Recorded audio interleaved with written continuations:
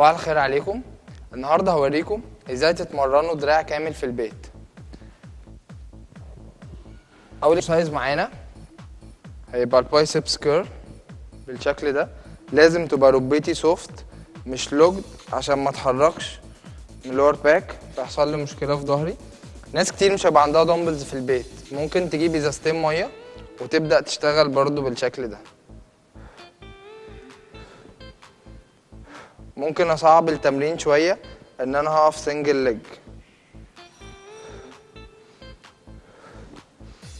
ممكن أصعب التمرين أكتر لو أنا بدأت إن أنا أشتغل two exercise مع بعض. تاني تمرين معانا ال hammer curl لازم أبقى ماسك ال dumbbells من النص بالشكل ده ما ينفعش أمسك ال dumbbells من فوق أو أمسكه من تحت عشان ما يوصلش على ريست إيدي.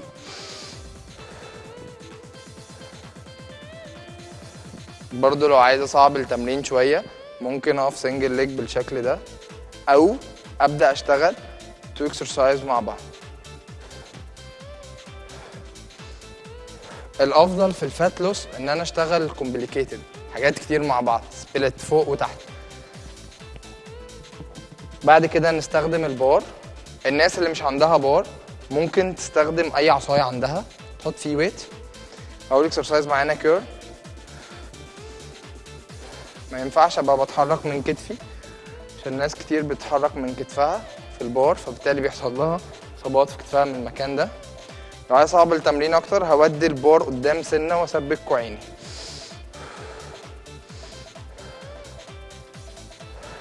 تاني exercise معانا. reverse ناس كتير في غلطة التمرين ده بتبقى فاتحة إيديها بالشكل ده. فبالتالي ال biceps شغالة بنسبة أقل بشتغل ال upper back أي exercise لازم أبقى شادد فيه ال core بتاعي. بعد كده هننتقل لل triceps ال triceps اللي هي دي. دي كان ال biceps أول exercise معانا overhead extension بالشكل ده. ما ينفعش أبقى فارد ظهري خالص وأنزل كده. ما ينفعش ابقى عامل ال neck قدام بالشكل ده واعمل كده عشان ما اتعورش. لازم اباص على نقطة ثابتة لفوق وبشتغل.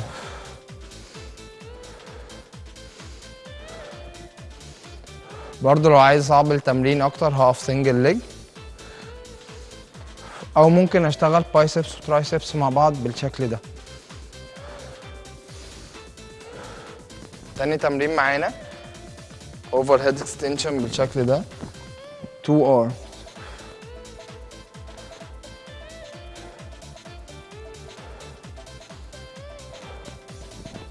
برضو لو عايز اصعب التمرين ممكن اشتغل معاه squat.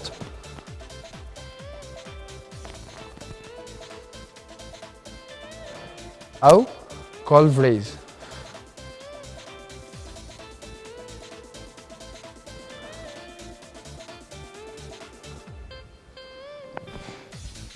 بعد كده اشتغل بالبار.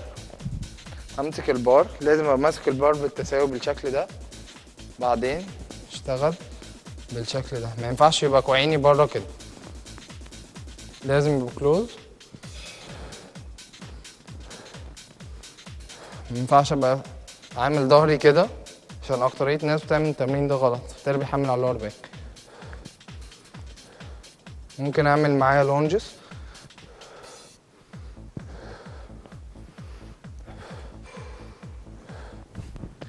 بعد كده هعمل الريست والفور ارم بالشكل ده. وبكده نكون انتهينا من حلقة النهاردة. تابعوني في الحلقات الجاية.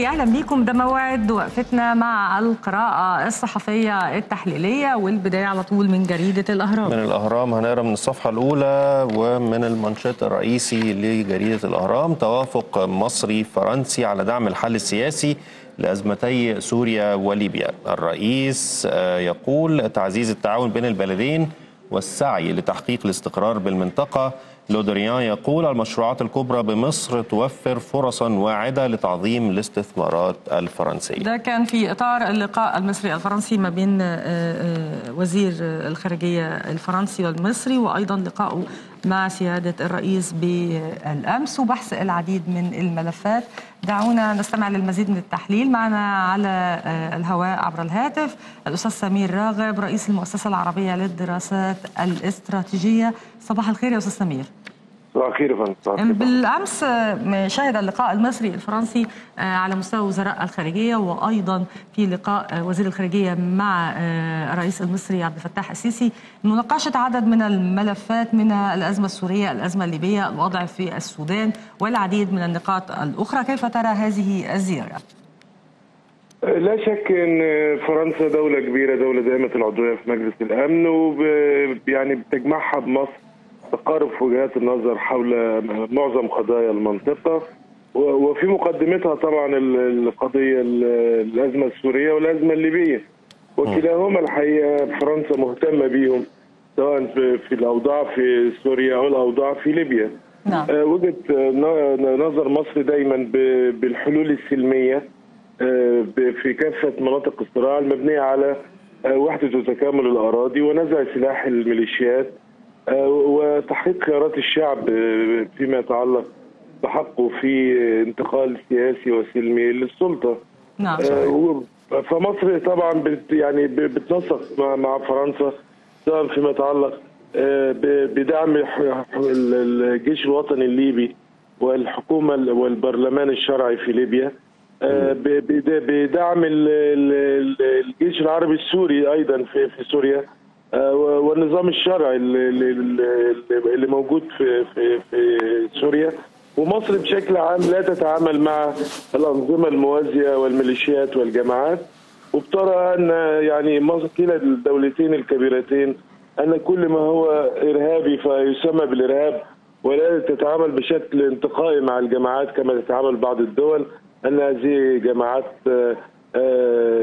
سلمية وهذه جماعات تمرد وهذه جماعات خيرية يعني كل ما يرفع السلاح وجه الدول ولا الانظمه الشرعية والجيوش الشرعية فهو إرهابي فيعني وجود وزير الخارجيه الفرنسي الحقيقة هو ضيف كبير والتنسيق المصري الفرنسي حول كافة القضايا لا يتوقف سواء كانت داخل المنطقة أو خارج المنطقة. طيب أستاذ سمير ده فيما يخص القضايا المنطقة ولكن لو حبينا نتكلم عن العلاقات المباشرة ما بين مصر وفرنسا واللقاء ده أكد على أهمية تعزيز الشراكة بين البلدين خصوصا على الصعيد الاقتصادي والتجاري والاستثماري وأيضا التنموي. لو حبينا نرصد العلاقة الاقتصادية والتجارية بين مصر وفرنسا وما يمكن أن يحدث فيها من تطور وتعزيز بالتأكيد هيصب في صالح الاقتصاد المصري. خاصة مع الحديث بالأمس عن تدفق استثمارات مباشرة من فرنسا في عدد من المشروعات المصرية. لا شك إن فرنسا أيضا من من أكبر الدول الشركاء التجاريين بتطمح الدولتين في زيادة الاستثمارات المباشرة.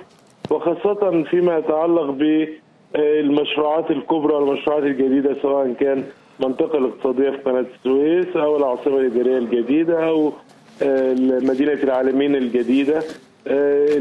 مجال السياحة السياحة الفرنسية من أكبر السياحة ومن أعلى دخل في السياحة العالمية وخاصة الأوروبية. فما قامت به مصر في الفترة الأخيرة سواء كان من أعمال بنية تحتية أو إصلاح اقتصادي لا شك إنه جاذب للدول. ولما نتكلم يعني فرنسا كأحد الدول الصناعية السبعة الكبار فوجودها مهم. طبعا فرنسا من الدول اللي ليها يعني باع كبير سواء كان في قطاع الاتصالات أو سواء كان في قطاع النقل سواء كان في الصناعات الثقيله صناعه السيارات بتسعى في فرنسا برغبة صادقة في ان يكون لها وجود كمحطة رئيسية في أفريقيا من من خلال آه، مصر آه، طبعا على المجال طبعا العسكري إحنا بنشتري من من فرنسا آه، الرافال وفي تصنيع مشترك لل- للمدمرة جو ويند الفرقاطة في فريم مع تحيا مصر حاملة طيارات مسترال جمال عبد الناصر أنور السادات؟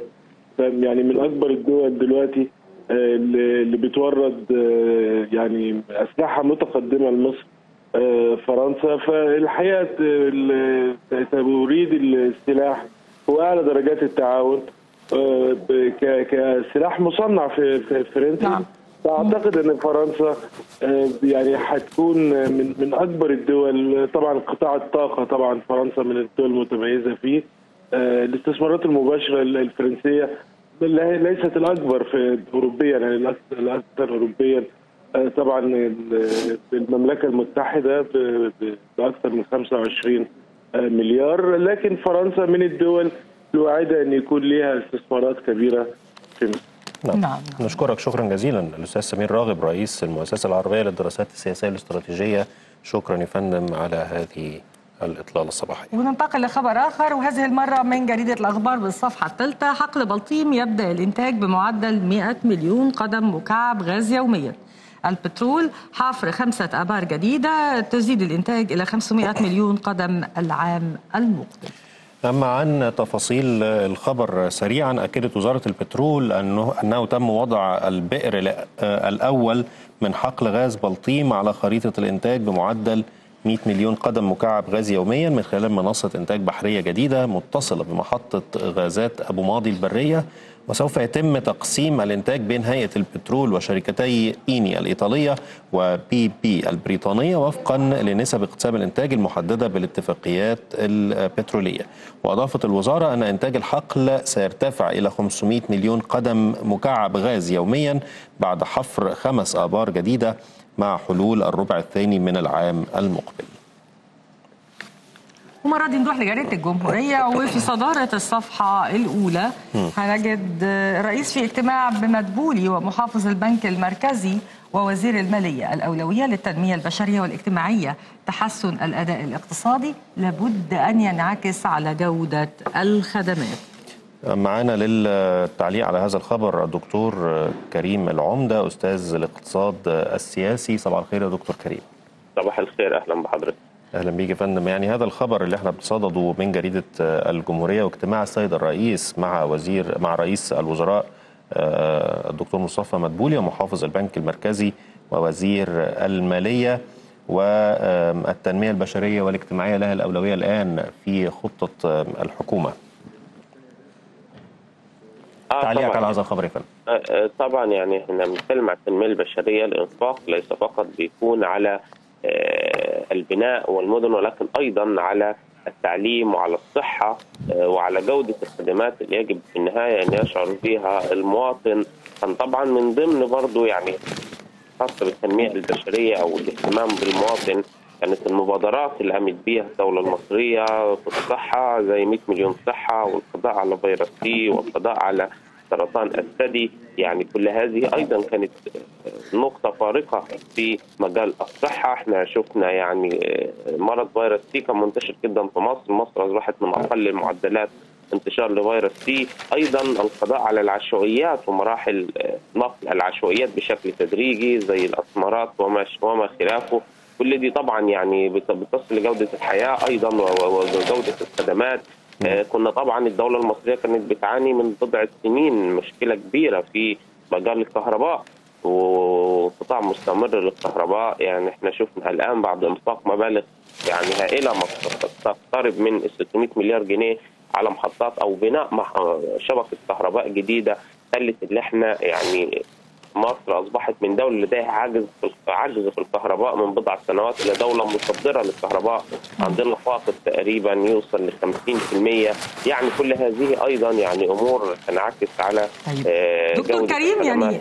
يعني طبعا النقاط اللي حضرتك ذكرتها في غاية الأهمية مصر هي الثالثة على مستوى آه، آه، النمو أو الأداء الأداء في النمو الس- الس- السنوي فهل ده بينعكس على الإنسان بنفس الشكل في طبيعة النقاط اللي حضرتك ذكرتها وفي طبيعة الإهتمام أم أن طبيعة الاهتمام ببناء الإنسان تحتاج الكثير من النقاط الأخرى من وجهة نظرك اقتصاديا؟ بناء الإنسان دي يعني نقطة بتاخد وقت وهي موضوع نسبي إلى حد ما. آه إن ارتفاع معدل النمو بينعكس انك إنت ارتفاع معدل النمو معناه بيزود لك الزيادة في المنتجات والسلع والخدمات. اللي بتكون في السوق ولكن آه, آه السلع والخدمات اللي بتكون في السوق ولكن يعني أنت عندما تتحدث عن إصلاح منظومة التعليم فدي بتاخد وقت إصلاح منظومة الصحة أيضا و دخول المواطنين كلهم في منظومة التأمين الصحي الشامل اللي ابتدت ببورسعيد. كل هذه الأمور بتاخد وقت كلما زاد معدل النمو كلما زاد عرض السلع والمنتجات والخدمات كلما انخفض التضخم زي ما إحنا شفنا في آخر سنتين بعد مرور عام 2017 ابتدى التضخم ينخفض وصل التضخم لادناه في 2000 وفي الشهر اللي فات انخفاض التضخم إلى ادناه أيضا معدل البطالة أقل معدل ليه منذ تسع سنين تقريبا. في انخفاض مستمر فمع انخفاض معدل البطالة ومع انخفاض معدل التضخم ده أكيد بينعكس على بناء الإنسان وعلى جودة الخدمات هل المواطن العادي بقى هيقدر يشعر بده قريبا هيقدر يشعر بحوافز النمو ديت أو مميزات ما حدث الفترة الماضية على الأرض بالنسبة له أم أن ما زال المردود بيحتاج وقت بالنسبة للمواطن في الحياة العادية؟ طبعا دي برضه نقطة نسبية لأن أكيد المواطنين اللي اتنقلوا من العشوائيات لأماكن جديدة متطورة ده أكيد شعر، أكيد كل مواطن كان خد علاج لفيروس سي مجانا أكيد شعر. أنا عن نفسي والدي خد علاج فيروس سي وعدد كبير من قرايبي. وهو أيضا مرض فيروس سي ده كان مرض مميت يعني اللي بيجي له فيروس سي كان مرض مميت بتنهي على حياته. فهي الموضوع النسبي ممكن يكون في بعض المواطنين شعروا وفي بعض المواطنين هيبتدوا يشعروا وفي بعض المواطنين مش محتاجين هذا يعني الشعور ولكن يعني هو في النهاية أي تجربة اقتصادية ليها بداية يعني وبتستمر لفترات طويلة. ما فيش تجربة اقتصادية لدولة بتنتهي في ثلاث أربع سنين. إحنا عندنا مشاكل متراكمة بقى أكثر من 30 سنة. فالتجارب الاقتصادية كلها بتاخد وقتها. الصين خدت 30 سنة فيتنام 15 سنة. فلازم نتكلم في إن طبيعة الاقتصاد وطبيعة التطورات الاقتصادية بتاخد وقت وفترة من الزمان. ولكن إحنا كان عندنا مشاكل واتحلت. طب يا دكتور كريم في ناس بتقول إيه؟ طب يعني هقول لك وجهة نظر وحضرتك قول لي رأيك فيها. الناس بتقول إن الصين خدت 10 سنوات في الانتقال من 2004 ل 2014 وكانت قد تغيرت فيها الحالة اقتصاديا بشكل عام. طبعا هي المقارنة لا تجوز بس دي وجهات نظر. رأيك إيه؟ يعني رأيي اولا إن الصين ما ابتدتش في 2004 الصين ابتدت في الثمانينيات.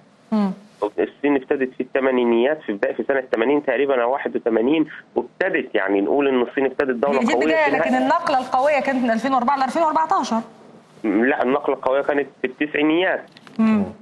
في التسعينيات الكلام ده ابتدت تحقق معدلات نمو مرتفعه في التسعينات في نهاية التسعينيات.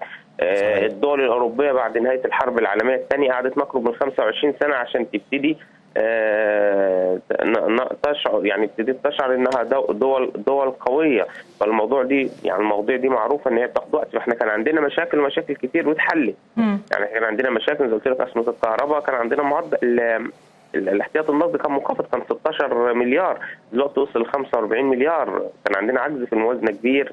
كان عندنا عدم ترشيد للدعم. يعني كان عندنا مشاكل كتير وعدة لازم تحلها الأول مم. علشان تبتدي تتكلم على حاجات تانية. لكن أنت مش مش هتنزل تنفق على الصحة وتنفق على التعليم الا لما يكون عندك موارد. تقدر تجيب موارد للدولة المصرية وتعمل ترشيد للإنفاق العام. فكلها دي بتبقى يعني أمور مرتبطة ببعض. أنت الأول لازم تقوي المؤشرات الكلية توقف الدولة على رجلها وبعدين نبتدي نشوف بقى اطلاق القطاع الخاص هيئه مناخ الاستثمار كل دي أمور بتيجي بعد ما انت تحسن مؤشرات الاقتصاد الكلي معدل النمو والاحتياط النقدي تقليل عجز الموازنة التصنيفات الائتمانية ما دي لازم كانت تيجي الأول لازم تيجي الأول.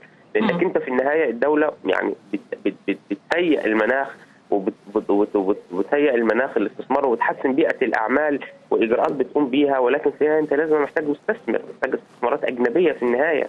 محتاج المستثمرين يجوا يستثمروا لأن الدولة مش هتبني كل حاجة لوحدها أنت محتاج تطلع. القطاع الخاص. فإذا أنت ما كانتش مؤشراتك الكلية قوية الدولار مستقر عمر ما المستثمر هيجي لك.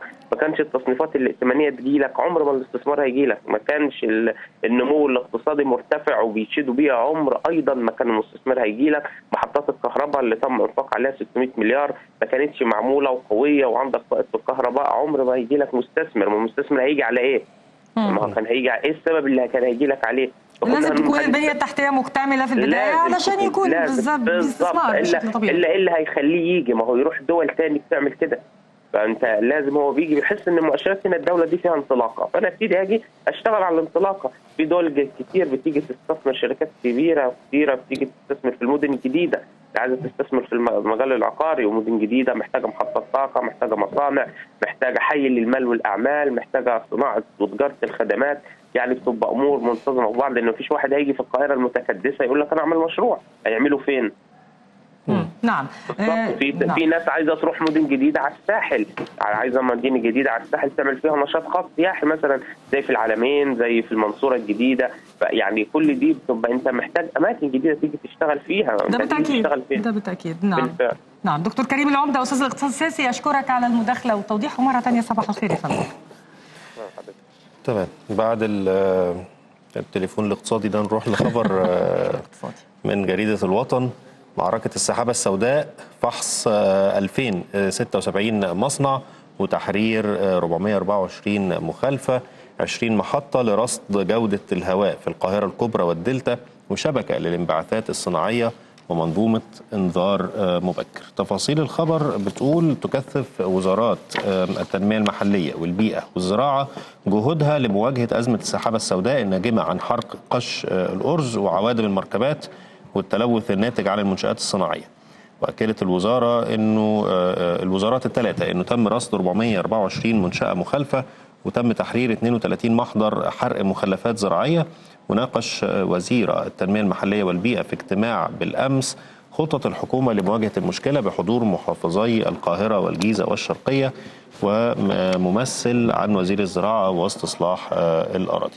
وفي بيان أكدت وزارة التنمية المحلية إن الاجتماع استعرض تقرير عن جهود وزارة البيئة من أول سبتمبر الجاري وحتى آه، نص الشهر فيما يخص منظومة رصد جودة الهواء آه، بالمحافظات وتجميع قش الأرز وفحص عوادم السيارات والحرق المكشوف للمخالف للمخلفات آه، البلدية. وأضاف البيان إنه تم الاتفاق على توالي التنمية المحلية التنسيق مع المحافظات بشأن هذه الحرائق اللي بتشتعل في المقالب والتراكمات التاريخية والسيطرة عليها. وأخيرا تمكنت فرق التفتيش البيئي من فحص 2076 منشأة صناعية تنوعت بين منشآت كبرى ومتوسطة وصغرى. نروح للمصري اليوم المحافظات تواصل حملات استرداد حقوق الدولة إزالة آه، 3270 مخالفة في المنيا وتقنين أوضاع عقود ابتدائية في بني سويف وكفر الشيخ. وأعتقد أن الدولة كده بتواصل ما بدأت فيه منذ فترة طويلة بإزالة التعديات ومحاولة استعادة حيازاتها الطبيعية واستغلالها الاستغلال الأمثل اللي كانت بالفعل قد بدأت فيه في هذه المرحلة. وبنتمنى أنها تواصل ده في الفترة المقبلة لعودة آه، ممتلكات الدولة إليها مرة أخرى لاستغلالها كما يجب وخبرنا الأخير من الأهرام في الصفحة الثامنة. يعني خبر بقى. هقول لك أهو. مدبولي يتابع تنفيذ تكليفات الرئيس بتوطين صناعة جرارات وعربات القطارات في مصر. تمام. تابع الدكتور مصطفى مدبولي رئيس مجلس الوزراء في اجتماع بالأمس تنفيذ تكليفات الرئيس عبد الفتاح السيسي بتوطين صناعة الجرارات وعربات السكك الحديدية في مصر وذلك بحضور الدكتور آه، محمد العصار وزير الدولة للإنتاج الحربي ووزير النقل والفريق آه، عبد المنعم التراس رئيس الهيئة العربية للتصنيع. واستعرض الاجتماع آم، آه، الدراسه اللي أعدتها وزارة الإنتاج الحربي لتوطين هذه الصناعة وتضمنت مراحل اتفاق مع كبريات الشركات العالمية المتخصصة في هذا المجال للتصنيع المشترك لعربات آه، السكك آه، الحديد وأوضح المستشار نادر سعد المتحدث باسم مجلس الوزراء إن رئيس الوزراء استمع لشرح توضيحي حول البنية التحتية لصناعة السكك آه، الحديدية. دي كانت آخر أخبارنا النهارده في هذه القراءة الصحفية السريعة التحليلية. فاصل قصير بعده هنكون على رأس الساعة وموعد موجز الأنباء. يقدم لنا موجز الأنباء زميلنا محمد شعبان ونرجع بعدها لبدء حواراتنا. فانتظرونا.